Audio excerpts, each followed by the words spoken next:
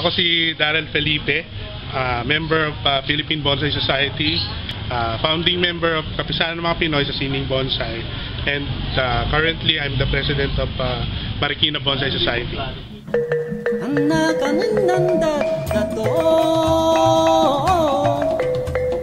中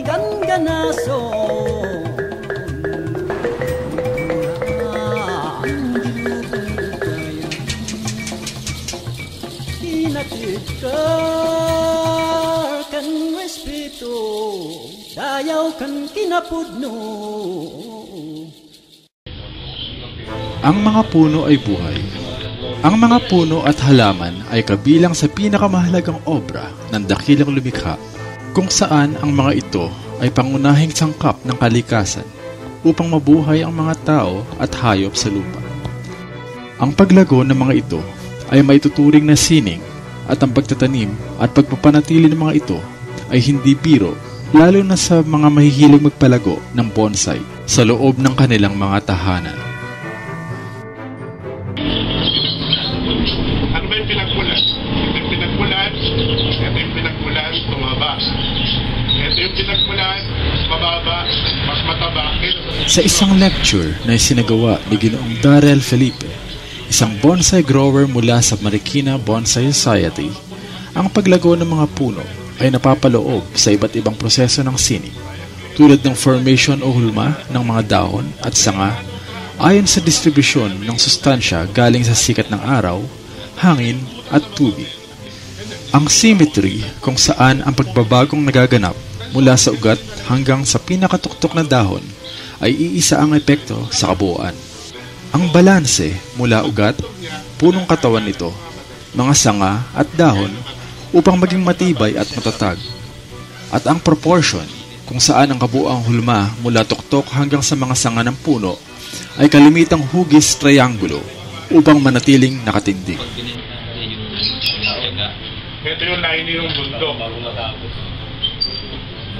Sa naturang lecture na sinagawa sa Balay Pincel Art Gallery sa Antipolo City, lalawigan ng Rizal, ipinaliwanag ni Darrell sa harap ng mga miyembro ng Artipolo, isang grupo ng manlilikha ng sining, na importanteng malaman ang proseso ng paglago ng mga puno upang maipinta ng maayos at realistiko ang mga magagandang tanawin na mga puno ang paunahing sangkap. Kapag painting na kayo, kaya nyo na ipaliwanag na yun. Yung gawa ko. Kasi pag ganito yung tanga mo, ganito, kasi ganito lang. Ayaw paliwanag. Diba?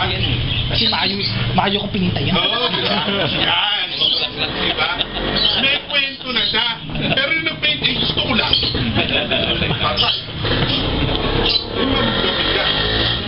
Eh kung gusto mo ganun, hindi ikaw gumawa, gusto mo eh. Kaya ako ito gusto ko, kaya ako ginawa. Mas maganda, may paliwanag kayo. Naintindihan. Naintindihan ng tao. Si Ginoong Darrell Felipe ay may malawak na karanasan sa pagpapalago ng bonsai trees sa loob ng bakuran at tahanan na wala namang pinag-iba sa proseso ng paglago ng higanteng puno sa kagubatan. Siya ay miyembro din ng Philippine Bonsai Society at isa sa mga nagtatag ng kapisanan ng mga Pinoy sa sining bonsai na kinabibilangan ng mga katulad niyang miyembrong bihasa sa mga puno. Siya ang kasilukuyang nangangasiwa sa grupo ng bonsai artists sa lungsod ng Marikina, ang Marikina Bonsai Society. Ah, yung Philippine Bonsai Society, it's the mother club of all bonsai clubs here in the Philippines. Ang, ang PBSI po, ah, ah, ang kilalang club at nire-recognize na club ah, when it comes to international bonsai scene. Ang kami po ay isang affiliate ng Philippine Bonsai Society, ang Marikina Bonsai Club at TPSB, kapisanan ng mga Pinoy sa sining bonsai. Actually, we aim to help uh, new hobbyists, new artists, upcoming artists na, na gumawa ng maayos uh, at uh, hopefully magagandang halaman na bonsai. So, dito po kasi sa larangan namin, it's more na camaraderie and uh, the artistry parang ano na lang siya, eh, lalabas siya, lalabas naman sa iyo ang artistry uh, naturally. If you if you talagang meron ka. Katulad ng ibang mga grupo sa sining, ang Marikina Bonsai Society ay nagbabahagi ng kanilang kaalaman sa pamamagitan ng monthly lecture meetings, ngunit para sa mga eksklusibong miyembro lamang. Ang mga seminars po namin, ah, usually po yan pag may meetings. ah, ah, we conduct regular meetings ah, monthly. So, usually every Friday or Saturday of the month. Every first Friday or first Saturday of the month. Then sa meeting, sa mga bagong members, ah, free, free po ang ano ang ang bonsai lecture sa amin. Ang kailangan lang mag-member lang po kayo sa club. So, para doon we would help you to ah, or we would guide you para sa pagsisimula niya sa bonsai eh maayos na agad. For non-members, nag-offer ka. For example, may ano ba? May fee ba? For, Ah, sa ngayon po wala naman kami ganun. Kami pag naimbitahan pwedeng kapi-kapi lang. Tunay na ang pagpapalago ng bonsai ay isang sining. Mula sa struktura ng mga dahon at sanga hanggang sa kabuuan ng puno at kung paano ito nabubuhay sa artipisyal nitong kapaligiran sa isang maliit na espasyo sa iyong bakuran. Ayon kay Darrell, iba yung tiyaga at pasensya ang kailangan upang lumago ng maayos at malusog ang bawat punong itinanim. So, pangkaraniwang buhay ng isang bonsai artist, gusto ko yan. Papasukin niya ang bonsai. Nagdulong-dulungan. Hanap ng materyales. Nakuha. Ito. Ano yung gagawin ko? Patay. Sige, bahala na. So, pinaliit. Pinahabas. May natira, okay. May natira. Salamat naman, may natira. So, inilagay sa paso. Umupo. Ang gagawin mo na, lahat tanggalin. Tatanggalin. Bakit? Kasi tinanggal mo yung ugat. Maraming ugat na natanggal. Expose yung wounds at tapon ng tubig. Kasi ang, nas- ang nasa loob na nito, tansya tubig lang. So, tinanggal mo, marami na tanggal na ugat, kailangan marami kayong tanggalin, nakasagot na sa taas. Tinanggal mo. Ubusin mo yung dahon, kasi hanggat may dahon, sisipin niya lang yung tubig. Mamamatay lang yun. Ito ay hindi naiiba sa mga alagaying hayop na pinag-iingatan at minamahal, lalo na't ang bonsai tree ay sinisimulan ilikahin sa isip, hanggang sa ito ay magkaroon ng buhay, hanggang sa pagkukondisyon upang ito ay umabong, nakaakit-akit sa paningin. Plant in a pot. Literally means plant in a pot. okay. Do you consider bonsai growing as a business here in the Philippines? Ha, ah, ah, kamusta ang business dito? Okay naman ba? Or uh, bonsai as a business or I would rather say alternative livelihood as we call it. Pwede, pwede siya. Pero kung mainly doon ka aasa, medyo mahirap.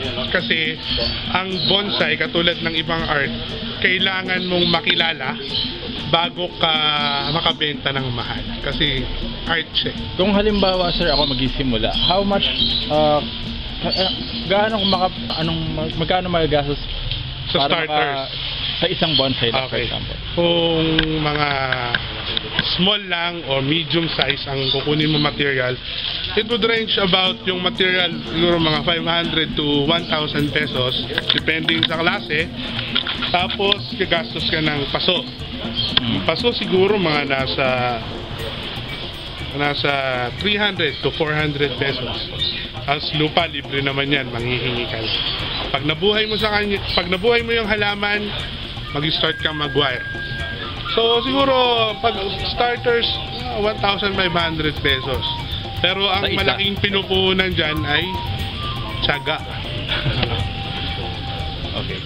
Ayon kay Darrell, sa loob ng labintatlong taon na pinasok niya ang industriya ng pagbobonsai, ay mabilis ding lumago at patuloy na dumadami pa ang mga nahihilig dito.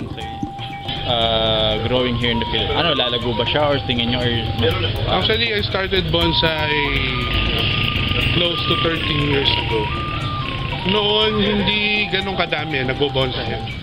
Pero with the span of 12 years, siguro ang percentage na inilaki ng pamilya ng bonsai sa Pilipinas, siguro close to 1,000 person. Kung dati 200 kami, nasa, nasa 2,000 kami. Pero ngayon, talaga napakarami nagbobonsay sa Pilipinas. Napakarami. Yun, ang kailangan lang nila, mag-guide sila ng tama. Tamang pagbobonsay. Kasi, we strive to be the best. Kasi competition ang qua- quality ng bonsai na hinahabol mo. Competition quality. Bonsai, actually kilala na ang Pinoy. Kilalang kilala ang Pinoy sa international bonsai scene. Kilalang magagaling ang Pinoy. Actually, galing yung, yung delegates from France. Ah, gusto nila makita yung bantige, which is endemic to our country. Ah, kasi dito nila nakita yung napakagandang halaman ng mga likha ng Pinoy sa materyales sa bantige. So, ang Pinoy kilala na pagdating sa bonsai. Kailangan na lang natin palaguin pa, palakihin natin yung pamilya. Ang bonsai tree ay isang sining na may ihahalin tulad sa pagpipinta.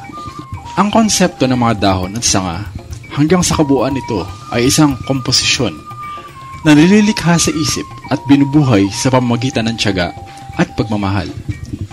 Ngunit di tulad ng isang larawan na nagtatapos sa paglagay sa kwadro, ang bonsai ay isang buhay na nilikha kung saan patuloy itong aalagaan ako si Manny de Guzman Jr., kung saan ang mundo ng sining at kultura ay buhay sa puso at diwa, noon, bukas at magpakailanman. Dito sa Art EFAX. Kaya po inibitahan ko kayong mag-member sa, kung malapit po kayo sa Marikina, sa Marikina Bonsai Club, ah, if within ah, NCR kayo, pwede po sa KPSP. Pero ah, we recommend you join our mother club, Philippine Bonsai Society po. Ah, ang opisina po niya sa Xavierville po, you can contact us din sa sa Marikina Bonsai Group. Ah, just keep in touch with us. Ah, you can call my number uh, 0929-462-1069. So we would gladly help uh, everyone na uh, and anyone uh, gustong pumasok sa larangan ng bonsai. At saka magkakaroon po ng national competition this coming May ang Philippine Bonsai Society. So, hope to see you. Anak, anang nandat,